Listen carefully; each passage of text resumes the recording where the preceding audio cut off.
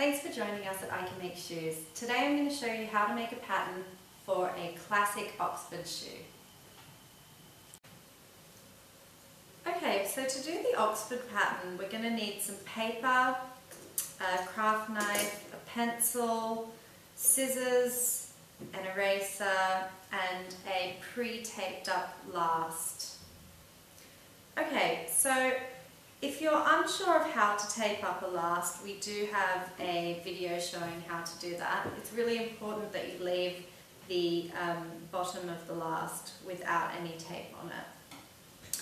So what we're going to do is um, we're going to draw the Oxford um, design onto the last here. Um, as you can see, you can use this method to do both men's Oxfords and women's Oxfords. You obviously just change the last that you're using. So I'm going to start by drawing the design onto here, um, and then we'll take it from there.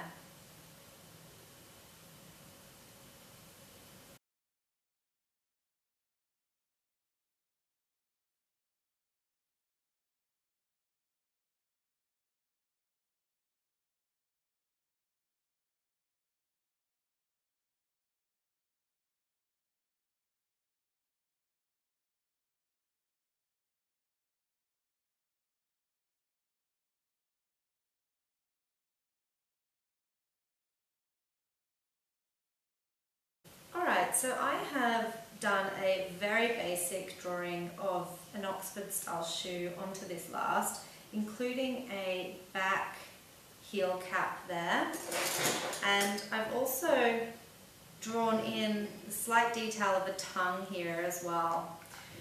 So what we want to do now is we want to just make a few marks on here to help us at a later stage. I'm going to start by on the inside here just putting a little notch in all three of these pieces just to indicate that that is in fact the inside of the shoe and that this is of course the outside of the shoe.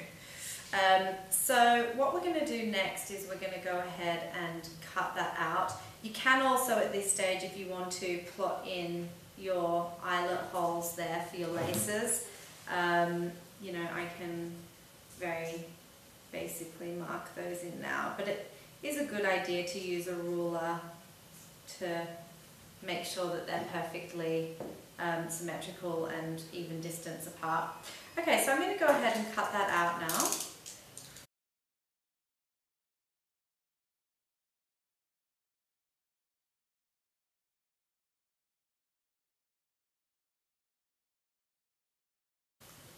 Once you've cut around all of these lines, you can then remove any excess tape from the top to reveal the shape of your shoe. And what we're going to do next is lightly peel off each piece one at a time and place it down onto the paper.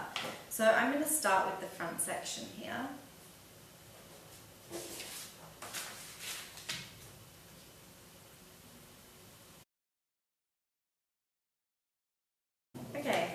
as we place this down, it's important to stick the top line down nice and straight.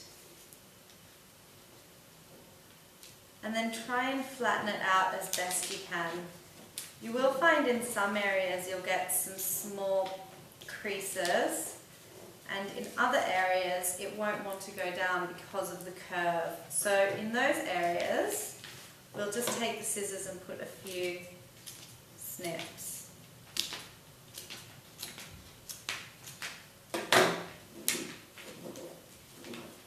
And that will help encourage the tape to lay down flat.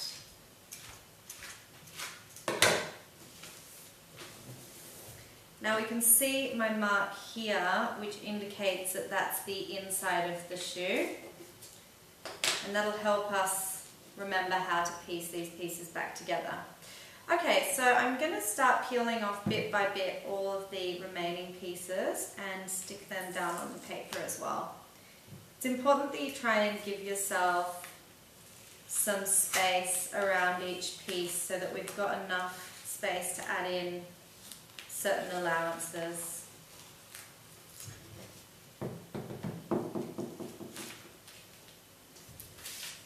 Again, making sure that you stick your top lines down straight first.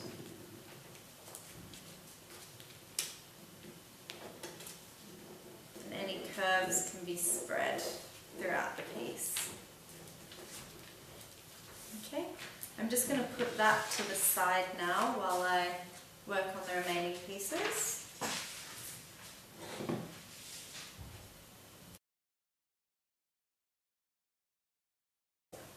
And again, I can see my little notch there that I put in to indicate the inside. Now with the tongue, I'm just going to peel this strip off here and I'm going to lay that flat up in this area. What that's giving us is the length of the tongue for the time being. So we'll come back to that in a moment. And finally, I'm going to take off the back section.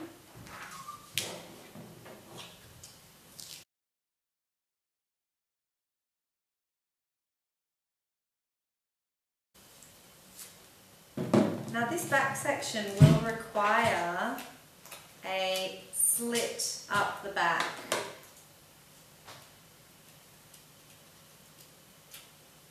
This will end up being a seam and will help us to get the um, curve at the heel of the shoe there. And it also helps us to lay this piece flat on paper.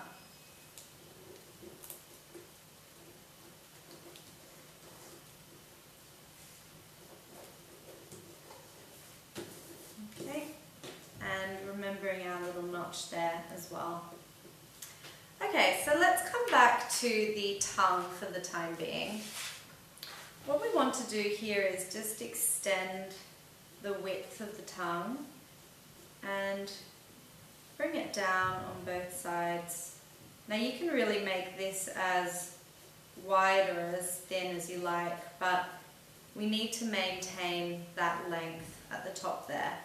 Now I'm just also going to add about a 5 mil excess to the bottom there.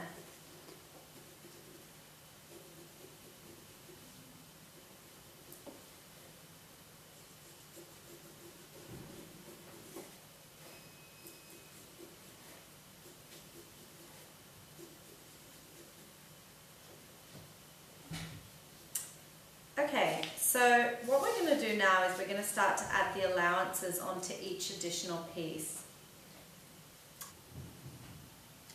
Okay, so on each piece I'm going to add in um, a few allowances. Now this line here is where our laces would go, so I'll just draw in a few little marks there just to help us remember where we are. Now we're going to add a folded top line to the top edge of the shoe and down that um, edge that has the laces on them. So I'm just going to draw in approximately a 5 mil folding allowance there. And I'm just going to bring that up and continue it around the top line of the shoe.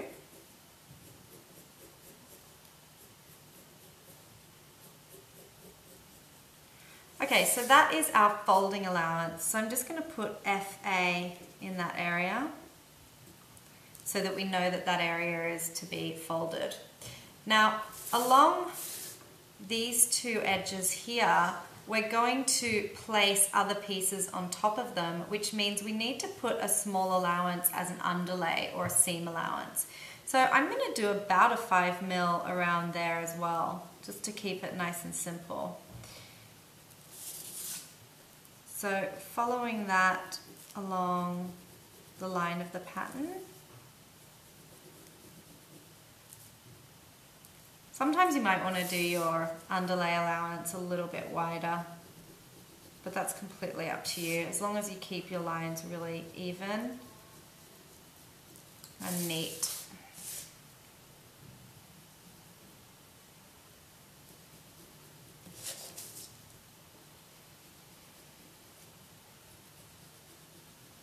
Okay, so I'm going to put a U L for underlay. in that area.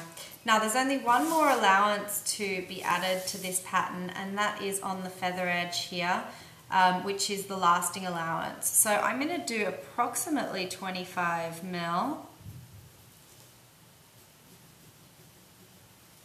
And it's really important that on the pieces that have this little notch, we include that into the pattern because we will actually cut that out of all the pieces so that we can see which piece goes with which. Okay, I'm now going to repeat that onto the other side of the pattern.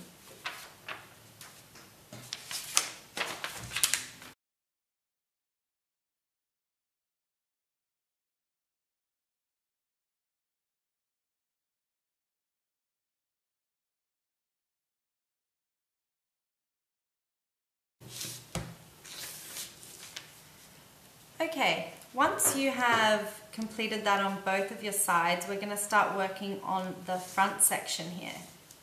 Now, this line here is going to overlap um, this area at the side here.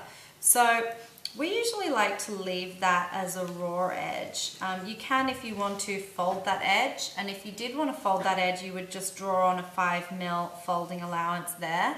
Or if you wanted to do something like a pinked edge, you could also add in an allowance for that as well. Um, I like to keep it raw just because it uh, reduces bulk on the overall shoe. So for the sake of a super easy pattern, we're going to leave that area raw. So all this front piece needs now is a lasting allowance around that whole edge there, which is the feather edge. So I'm going to bring that out about 25 mil again and bring that all the way around following the line of the pattern. Don't forget to get that notch in as well.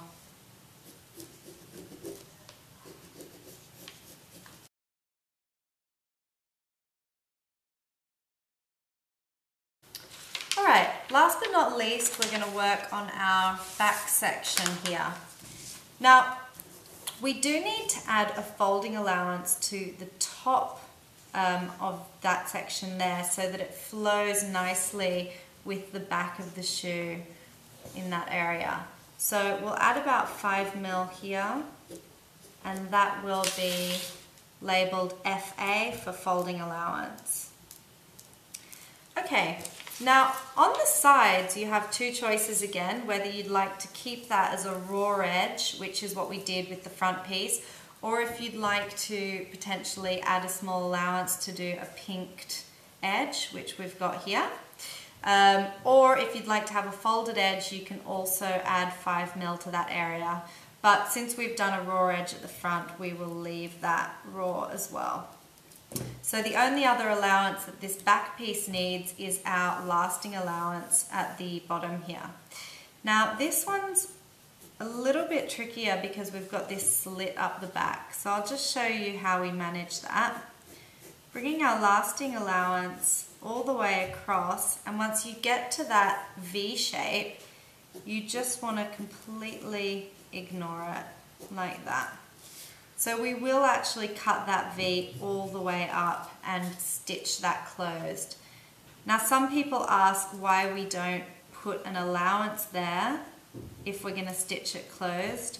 And the reason for that is because we want to make the pattern ever so slightly too tight so that when we stretch it over the last, um, we get a really nice tight fit. So that can now get labelled with lasting allowance.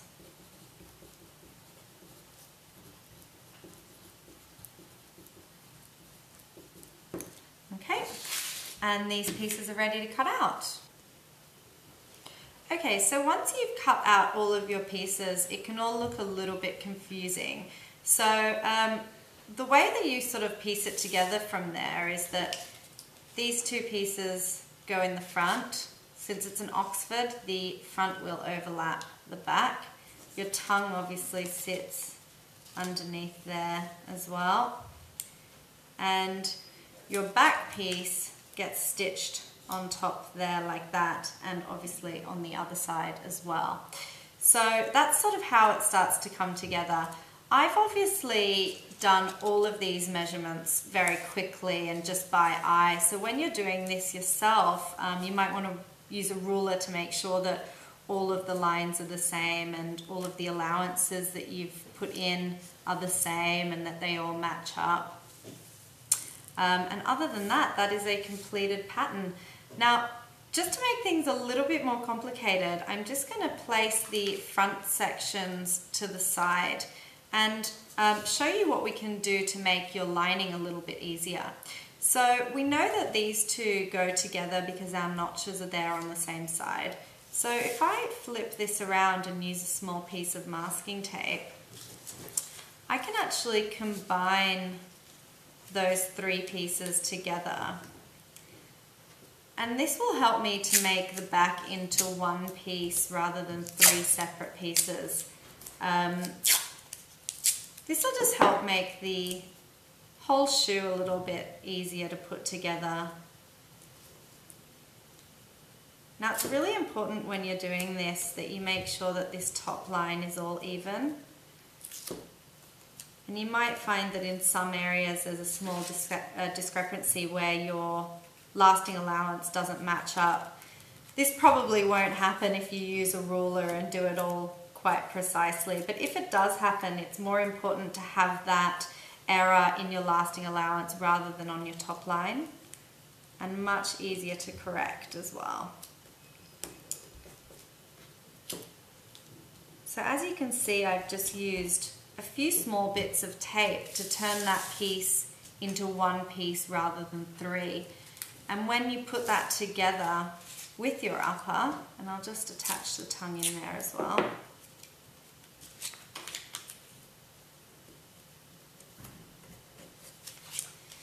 you'll see that it sort of goes together. Oops. Something like that. And that will sit underneath. Okay. Thanks for watching. For more videos, subscribe to our I Can Make Shoes YouTube channel.